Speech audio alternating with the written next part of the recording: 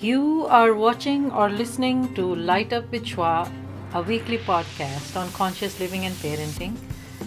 This is part four with Professor Ibrahim Ozdemir. Hope you have watched three uh, previous uh, episodes with him and you have uh, visited my website lightupwithshua.com. You can send me your comments or feedback and you can find this podcast on iTunes, TuneIn Radio, Spotify, Castbox, and also you can watch it on YouTube and the Groton channel. I hope you are enjoying so far, um, and please do enjoy part four with Professor Ozdemir, and uh, let me know what you think. Take care. And don't forget to subscribe the podcast, please, and share and rate and review. Thank you. So, uh, Professor Ibrahim, what did you learn in Finland for two years? What can you offer us uh, about them that the rest of us, whether any uh, faith or culture, what can we learn from Finland? Thank you. Uh, I I I, use, I lived there for two years, almost two years, and I visited Finland before that uh, twice. And the first thing I I learned from them how they have a deep appreciation for life, for life, for nature, for animals, for all human beings. And they respect all human beings and they respect human rights. They don't, although there are some also marginal groups, uh, far right groups, you know, uh, the, the racist groups, but the majority of people, they respect human rights. And the gist of their success in education is their deep respect for the uh, human dignity. Mm. Every child matters. Every child is important. They just they devised an education system which tries to to to, to nurture the, the abilities of the child. They say every child has a you know limitless abilities. Only we have to help them to to improve, to bring out these abilities so they can solve their problems, they can uh, direct their lives. So they, they don't, uh, their uh, educational system is not ideological and it is not, uh, you know, uh, uh, backward looking. It is forward looking. It is the, the, their motto is education for the future. But in many Muslim countries, especially if it's not democratic, the, the, the education is based on how their leaders they are great, how there is history and their nation is the one of the greatest in the world. Well, it, it is ridiculous, you know. Just look at your problems, your economy, your GDP. You see, all this, you know, and this respect for humanity, for human being, is reflected in the, in, in the education system, which, which is free for all citizens and it, it is reflected in, in the well-designed transportation system, very efficient, and every and it is reflected in the health system. It is not like America. Mm-hmm. Yep. Oh, everybody, yeah. the, the, the, education, the health system is, covers everybody, every citizens, even migrants, even refugees. Mm. You see, so uh, it is reflected in many many areas in in, in in the life. So you can see you are as a human being you are valuable you are important so you, they give the education system give, gives you the, the self-confidence you can make a change in your life in your society in your community in the world community okay. although it is a small nation yeah. their gdp is so it is more than 40 40 uh, thousand uh, dollars it, it is a big thing because, as I said, they said we don't have a petrol, we don't have you know natural resources like some other countries, but our major mine uh, is human being, the capabilities of human being, the abilities of the human being, and in this respect, they are they are trying they are, they are they are utilizing the scientific findings about human nature, about human psychology, about how our brains words. So if you just, you know, uh, then every uh, student just has a, has a self-confidence they can make a change in the life. Yes. Thank you. Thank you. And so they, they, it is also reflected in their concerns and res- uh, uh, respect for the nature. Hmm. It is one of the, it is one of the, I think, the best nations who care for about environment, Hmm. about biodiversity. Who also invest in education, also has uh, some uh, invest in renewable resources Okay. Oh yes. in, for, for the protection of you know protection of anim, wildlife and also the pro- of using the, uh, the, the the mines they have a very strict regulations Very nice. Good. Good. Yeah. So you had good time there. You enjoyed. yes You yes. learned, and you. Yes. So do you think as, that? as as as as you know you know we have to learn you know it is when you look at yourself not as a professor as a student of philosophy Yes. i can i present myself as a student of philosophy Okay. burning for learning Very just nice. you know uh, uh, today I, I just bought several books to read because i am come from finland there's some new books in turkish i have to read them Wow. so you know if it is just you know you enjoy it is uh, it, it, it, it, it's it enrich me intellectually and also I, I enjoy reading books Yes, good. I love it too. I really enjoy. Don't you think, uh, while you're saying this, don't you think, uh, or in your experience, do you think that uh, Muslim in general have uh, stopped being uh, intellectual or, or or read enough? Although our book of Allah is says to read, and that's Yeah. how we started. Do you feel that we are missing some uh, reading habits? In yes um, um, unfortunately we are not good readers although in the past in the history in the even you know, 10th 11th and 12th centuries in, in, in damascus in baghdad in cairo Yes. in, in, in, in, in andalus there was big libraries you know i just it said it is all past Yes. but today's today's you know even i uh, i met some uh, people there in, in university they don't read outside of their field Yes. their majors you know So do you encourage say that? Do they- you encourage? sure? Yes. sure Yes. for for example some pakistani colleagues when they saw my article on iqbal they amazed they say oh do you know iqbal i said yes You should have said, "Do you know Iqbal?" I know Iqbal, but do you know Iqbal? Being a Pakistani, yes, yeah yes. Do Islamic environmental ethics align with the much disputed Ga- Gaia theory?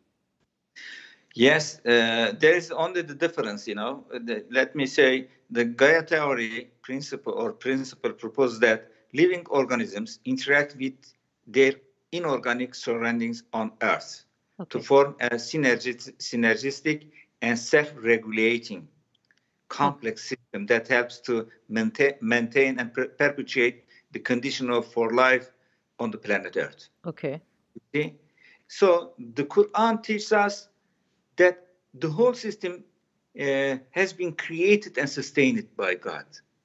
So the, all interactions, all the connections, interdependence in nature is uh, through the power, wisdom, and uh, you know uh, of God. So we just just uh, think the Quran tried to teach this in uh, you know in, in the 17th century of of uh, um, Arabian Peninsula. But since then, when we look at the Islamic history of scientific Islamic uh, history of scientific learning, we can see how Quran shaped Muslim mentality to look at nature, to discover this interconnectedness. Hmm. Okay. And you see, so the only difference, it is a very secular theory. It is a scientific theory. It excludes God. But when I look at from my own history, from from from my tradition, scientific tradition, I can I can see uh, the the uh, the, uh, the the the problem there. But what is uh, good? We are talking about the same thing: the the, the wholeness of the system, the interconnectedness of the system. It doesn't matter. They can say it is, you know, we don't ask who who created, who maintains, or sustains the system, but we say we care about that. Yes, yes. So, uh, coming uh, to the to the previous question, then, do you think Islamic environmental ethics could become an established branch of study, or is it already a yes, study. it is already already now the environmental ethics and environmental philosophy is a course in, in, in, in many universities in the West, Okay. in America, and also in, in, in, in Europe. Okay. So why not about Islam, Islamic environmental ethics? Yes. And last week, last uh, last It can be established or is it already established? it- is already have uh, some uh, university that establishing it. Okay. Okay. I, I for example, I, I, I, I designed a course on on uh, religion and uh, ecology in, in in Turkish theological seminaries. Now, um, all uh, religious seminaries they are teaching religion and ecology. Okay. So maybe in the future it will be there will be courses on Islam and ecology, environment and ecology, environmental uh, philosophy, Islamic philosophy, etc. Okay. Last uh, December we have a workshop in in Erlangen University in Germany about the animal rights, rights and ethics in Islam. Ah, It was wonderful, and the majority of the presenters uh, were women. wow. Interesting. They have, and many of them they have their PhD or uh, master degree in in environmental uh, uh, studies. Mm. So women were from the Muslim uh, communities? Okay. Yes, from Okay. Muslim community and also from the West. Okay. Okay. Very nice. Very nice. Okay. All right. Let's come to the last leg of questions. Yeah. All right. So, um, thank you. First, I want to thank you for all what you have said so far and how uh, you have uh, taken time out for this uh, important topic. Um, my last leg of questions, uh, which I asked everybody. We need to know a little bit more about Professor Ibrahim because we didn't learn. Uh, we know from your work that is good, but your personally, your approach obviously this is a passionate topic for you, and you work in this, you teach in this. Um, so, what is wealth in your experience? So Wealth, sorry. wealth. Yeah. Yes. Uh, uh, knowledge, knowledge, and my friends. Ah, nice. Yeah. uh, what is the value? I am. I, Sorry, I go am, ahead. I am. I am so rich uh, with regard to friends and my colleagues. Wherever wherever I go in South Africa, in Maldives, in, in, in Morocco, I have my friends who can host me at his home or her home. Wonderful. I would love Yeah. to host you with my family in Boston. you. If you are Thank coming you. here, please. Yeah. you have My- a my- new new my, my uh, message, list. my message reached the target. yes, yes, yes. Thank you. And if you ever visit Boston, well, that would Yeah. be wonderful to have you. Oh, Uh, what is the value of gratitude in uh, your life? Gratitude. Yet it is one of my key values. Hmm. I, I I never forgot anybody who made a favor for me, and as or uh, you know tradition and or religion teach us, who don't uh, thanks, it's not great grateful to God. It also will not be grateful to people. I also when somebody is just not just forget you know to be gracious or to be grateful, I just feel sorry. Hmm. It- it is a key. It is to to come out or selfishness and you know to to to connect us with our friends, connect us with the our colleagues, connect us with the society, connect us not to be gra- grateful only to human being even even to be grateful to to to, to the animals we are living, living together. Okay. Uh, can you uh, define uh, in your life or uh, describe what is the value of time? I understood the value of time better in, in Finland. Hmm. How is that?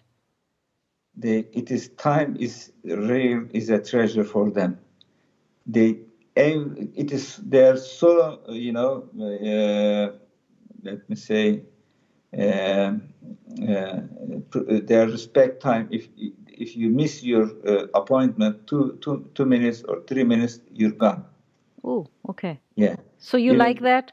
yeah, I like that because it is in uh, in, in Ramadan you cannot uh, break your fast one minute earlier. And it, all it's, it is Islamic prayers they are regulated through the time, but you know uh, even there was a uh, Finnish uh, a, a friend who is Arab, uh, uh, married to a Finnish woman when they are making appointments the wife will would ask, it is uh, Finnish time, okay, not Amer- Arab time. Ah, yes, Arab time is like, like has too I, much I, flexibility. I, appreciate, I appreciate my time. I, I know the the, the uh, importance of time. I'm trying to my best to to use my time wisely. Okay. And efficiently. Yes. So, what is the suggestion for uh, the Arab world or any world around the world about time? Have you encountered difficulties in our Muslim communities about time? Is, I think it is all we have. Uh, again, you know, we have a lot of, uh, you know, it is a difficult issue. Really, it is. Mm. It's, it's, it's, a lot of implications. Yes. In in the you know in I, I visited Egypt, Morocco, and uh, Iraq and Syria. There's many people there just they they, they are just they are killing time mm. because they don't have the education system or education system it's, they didn't teach them how time is important how time is valuable mm. how they can use time to, to, to, to make a change in their lives but isn't it contradictory for Muslims that we have this book, we have prayers, we have Ramadan that teaches everything about time and respect, and then as uh, nations, as communities, we are not really practicing that. And why have we lost that? Why I are we all, missing that? All, all perception of Islam and Islamic values is very superficial. Hmm. It doesn't go deeper. Yeah. So we need it to work on that. In, in our psyche. Mm-hmm. Be part of our psyche. So we got distracted. Yes. We are still distracted, you think? Yes. Hmm. It's a major problem for us. Do you have any suggestions how to come back to it? quickly? This is, you know, Muhammad Iqbal wrote a book, Reconstruction of Islamic Thought. It was all about this, you know.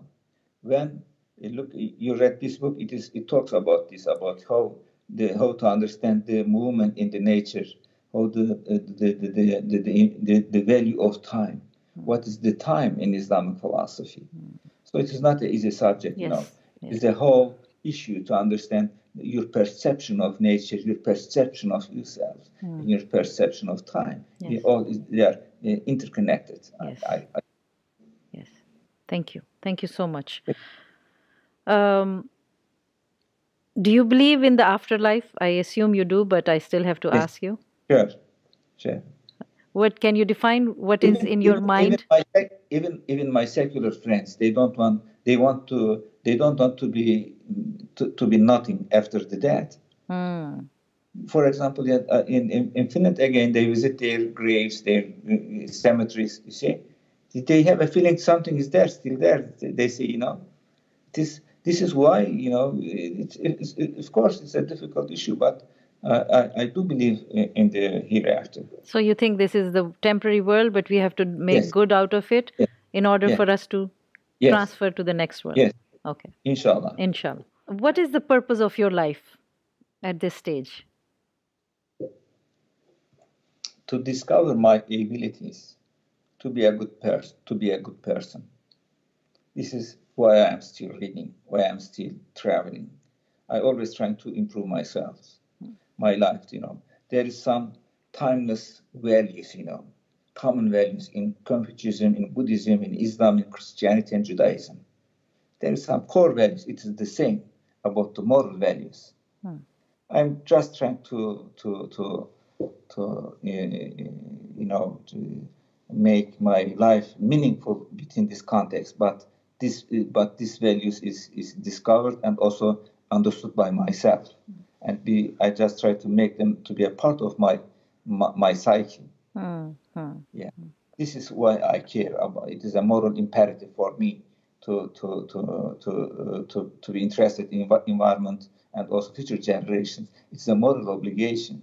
If I was a selfish person, I, w- I would not care about future generations. I would even would not care for my family. Hmm. There are many people they don't care about their families, they don't care about their children's children. Okay, but we have this is uh, important for me to be a moral moral integrity and moral com- uh, compass is very important for me. Yes, thank you. Any message of hope? Yes. Hopelessness uh, uh, is to limit God's power. If you believe in God, and lose your, your, your, your hope, it means you limit God's power to help you to make mm. a change. Mm. So I always ha- have hope about future, about all potentiality to make a change. Mm. This is why I'm striving. This is why anybody who lost his hope who can commit suicide, unfortunately. This is why existentialist philosophers they say uh, suicide is also an option for you hmm. if you can. But I don't believe in this philosophy. You see, uh, when I met Mr. Mandela in 89, he told us uh, why I don't lost my hope in the prison for uh, 29 years, because one of the prisoners in the in, in one of my uh, colleagues uh, prisoners was uh, inmates was a Muslim. He said in the Quran, Allah says, don't despair God's mercy. Don't despair God's mercy. So, if, if there is God, so there is always hope. Yes. Thank you. Thank you You're so much. Thank you. Um, before my last question, do you think or do you take an interfaith approach uh, in your work when yes. you uh, go for uh, lectures or in your teachings? Yeah, the, because you know uh, we, we discovered we are on the same boat. Yes. You know we are the the, the, the, the environmental problem is not a problem for Muslims or for Christians. Yes. It's a problem for humanity. It's a problem for all living creatures. Yes. So we have to work together. We have to understand each other. In fact, when we began to talk on environment, we discovered how many, uh, how, how much in common we have than we think. But all the, you know, daily political problems, economic problems is is is a barrier to to reach each other.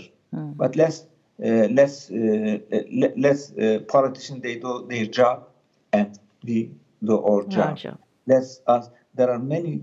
I am amazed with, with when I, I, I, I have a lunch with Dalai Lama and many young uh, young um, uh, young people from uh, uh, from the West or from from US ask intelligent questions to him how and how he, he replied to them. So you see, they are le- they are learning from each other. And also, I, I, I met many Buddhist and Hindu and also Christian Jewish friends. They say how they learn from the Islam. Mm-hmm. You know, can can you imagine in in ninth in ninth century, tenth century, eleventh century, Muslims were learning from the uh, Christians in in the in in, in Damascus in in, in Baghdad. Yeah. But in in in Andalus in 12th and 13th century, Muslims were teaching to the Christians yes. and Jews. Yes. You know, that the, the, the, uh, there were always interchange, in, you know, connection. Yeah. Exchange. There are, some, yes. there are some political people in the Muslim uh, in the Muslim uh, uh, countries and societies. They are against these things, but we, I also respect them. I try to understand them, but always we have such people in the history too. Yes, yes. So we have to move along with them. Forward. I have yes, to communicate. Yes. I have to dialogue with yes. the animals. Yes, yes. With the, you know, with the universe. Why I neglect uh, dialogue and uh, yes. uh, interaction by my, with my fellow human beings? Why should we limit ourselves? Yes. Why? Right. Why? Yes. Yes. Okay. Okay. All right. My last question, which I ask everyone: What lights you up? What lights you up? It gives you hope uh, more, more like what lights you up when you yeah. go out of the house into nature yeah. your children family what lights you up? What gives you new, a new a new book a new friend and uh, uh, uh, what is new? Everything is new. And i just tried to when i met and i read a new book i said what i can learn from this? When i met I meet a uh, friend, a man or uh, a woman, I just say, why I meet this?